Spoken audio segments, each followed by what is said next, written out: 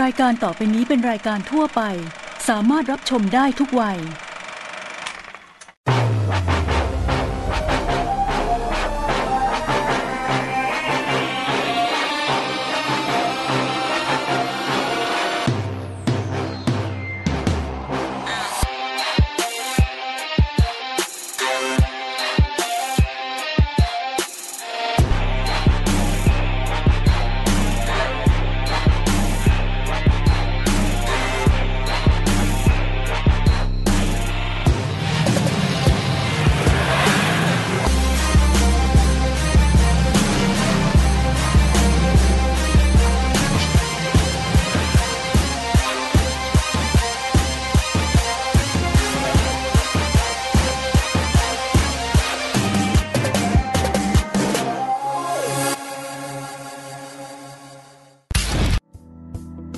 สวัสดีครับคุณผู้ชมครับ ขอต้อนรับเข้าสู่รายการ Sport Mafia กีฬาตัวพ่อ กับผมแชมป์พิรพลนะครับ เรามีนัดกันที่นี่ช่อง 28 ทุกคืนวันอาทิตย์ เวลาแบบนี้คุณผู้ชมครับ5ทุ่มครึ่งนะครับ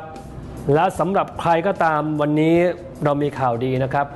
ใครก็ตามที่อยากจะมาร่วมงานกับรายการ Sport Mafia เดี๋ยววันนี้ช่วงท้ายรายการนะครับ เดี๋ยวบอกให้ฮะว่าเราต้องการสมาชิก ครอบครัวรายการของเราแบบไหนนะครับ วันนี้เรื่องราวเข้มข้นเหมือนเคยคุณผู้ชมครับ มีทั้งเรื่องของสาวเซ็กซี่ คือปกติเนี่ยผู้ชายที่หุ่นล่ำปึก มักจะถูกมองว่าเซ็กซี่ แต่มาวันนี้เขาบอกผู้หญิงชอบออกกำลังกาย และวันนี้เซ็กซี่แบบสตรองเซ็กซี่แบบแข็งแกร่ง ผู้หญิงคนนี้มีสองอาชีพ แล้วเมื่อผมพูดไปสองอาชีพนี้คุณผู้ชมจะตกใจ เพราะมันไม่น่าจะเป็นสองอาชีพที่คู่กันเลย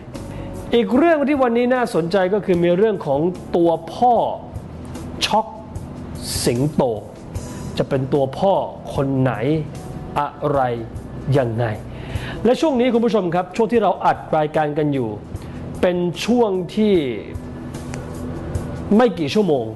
ก่อนศึกฟุตบอลที่ยิ่งใหญ่ที่สุดในการชิงแชมป์สโมสร ระดับยุโรปหรือว่า UEFA Champions League รอบ 8 ทีมสุดท้ายกำลังจะเริ่มขึ้น รอบ 8 ทีมสุดท้ายนัดที่ 2 ซึ่ง คู่ที่คนไทยสนใจมาก ๆ ก็คือการเจอกันของจิ้งจอกสยามเลสเตอร์ซิตี้นะครับซึ่งเข้ามาเล่นรายการนี้ในฐานะแชมป์ของอังกฤษ จะต้องเจอกับทีม คือเอาง่ายๆเป็นทีมอันดับ 3 ของสเปนแล้วกันครับแอตเลติโกมาดริดในสเปนมีบาร์ซ่า มีเรอัลมาดริดแล้วก็มีแอตเลติโกมาดริดและแอตมาดริดเป็นทีมที่ไม่ธรรมดานะครับ เพราะว่าในศึกชิงแชมป์ถ้วยที่ยิ่งใหญ่ที่สุดอย่าง UEFA Champions League 3ปีที่ผ่านมาแอตเลติโกมาดริดสามารถเข้าไปถึงรอบชิงได้ถึง 2 ครั้ง ซึ่งก่อนเกมจะเริ่มขึ้นนะครับ แอตเลติโกมาดริดซึ่งมีแนวรับที่แข็งแกร่งที่สุดในโลกทีมหนึ่งก็บอกว่าพูดถึงเจมี่วาร์ดี้ครับ เจมี่วาร์ดี้ก็คือกองหน้าเบอร์หนึ่งของทีมเลสเตอร์ซิตี้กองหลังของแอตมาดริดบอกว่าเจมี่วาร์ดี้มีดีพอที่จะเล่นให้กับทุกทีมในโลก ถือว่าเป็นสุดยอดคำชมมาก ๆ เลยนะครับ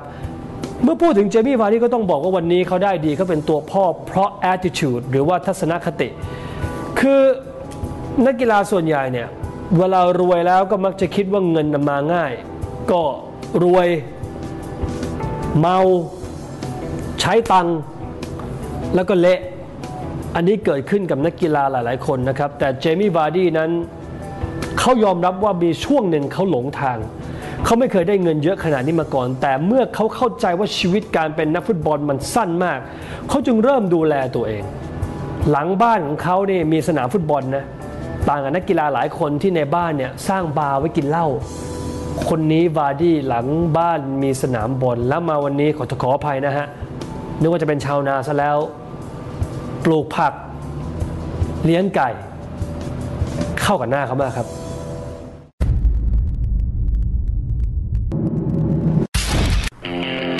เจมี่วาร์ดีศูนย์หน้าตัวพ่อแห่งจิ้งจอกสยามเลสเตอร์ซิตี้นักเตะทีมชาติอังกฤษวัย 30 ปี เขาคือหนึ่งในกำลังสำคัญที่ช่วยพาจิ้งจอกสยามเลสเตอร์ซิตี้ทีมแห่งความภาคภูมิใจของคนไทย ได้สร้างประวัติศาสตร์หน้าใหม่ในรอบ 133 ปี ตั้งแต่ก่อตั้งสโมสรเลสเตอร์ซิตี้คว้าถ้วยรางวัลที่ยิ่งใหญ่ที่สุด ในวงการฟุตบอลที่ยิ่งใหญ่ที่สุดในโลก English Premier League และยังสามารถเข้าสู่รอบ 8 ทีมสุดท้าย ของศึกฟุตบอลที่ยิ่งใหญ่ที่สุดของทวีปยุโรป อย่าง UEFA Champions League เป็นครั้งแรกในประวัติศาสตร์ของสโมสรอีกด้วย นักเตะที่มีค่าตัวเพียง 50 ล้านบาท มาวันนี้เขาได้รับค่าเหนื่อยกว่า 3 ล้าน5แสนบาทต่อสัปดาห์ เป็นนักเตะที่ได้รับรางวัลเพียบ ไม่ว่าจะเป็นผู้เล่นยอดเยี่ยม ประจำฤดูกาลปี 2015 ถึง 2016 รางวัลผู้เล่นยอดเยี่ยมแห่งปี จากการโหวตของบรรดานักข่าว แถมยังเป็นผู้เล่นสัญชาติอังกฤษเพียงคนเดียว ที่ถูกเสนอชื่อให้เป็น 1 ใน 55 ผู้เล่นที่ดีที่สุดในโลก เพื่อร่วมเข้าชิงรางวัล FIFA Fit Pro World 11 ประจำปี 2016 ที่บรรดานักเตะมืออาชีพกว่า 25,000 คน จาก 75 ประเทศทั่วโลก ร่วมกันโหวตอีกด้วย เขาคือนักเตะที่มีคติสั้นๆว่า สู้ไม่ถอยสู้ไม่ถอยขยันมากขยันมากๆจบ แต่นอกจากความขยันแล้ว ตัวพ่อแห่งจิ้งจอกสยาม ยังดูแลสุขภาพถึงขนาดปลูกผักและเลี้ยงไก่เอง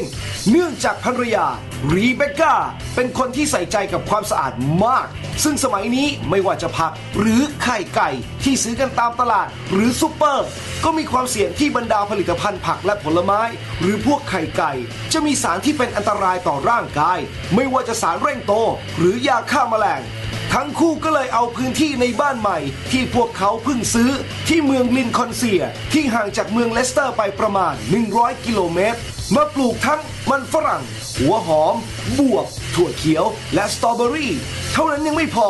บ้านวาร์ดี้ยังเลี้ยงไก่เองอีกด้วย ซึ่งอาหารเลี้ยงไก่ก็ยังเป็นอาหารออร์แกนิก ซึ่งคนใกล้ตัวเจมี่วาร์ดี้ก็บอกว่าไก่เหล่านี้มีไว้เพื่อออกไข่เท่านั้น ไม่ได้ถูกเลี้ยงไว้เพื่อกิน เพราะเจมี่วาร์ดี้ค่อนข้างเอ็นดูพวกมัน ดูแลทั้งภายนอกและภายใน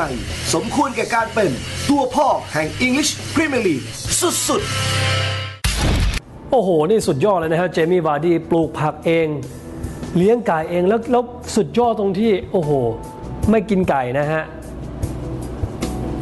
ไข่เท่านั้น เพราะว่าโอ้โหสงสารไก่นี่แหละครับ สุดยอดนักกีฬาที่ดูแลสุขภาพตัวเองได้ดีแบบสุดๆนะฮะ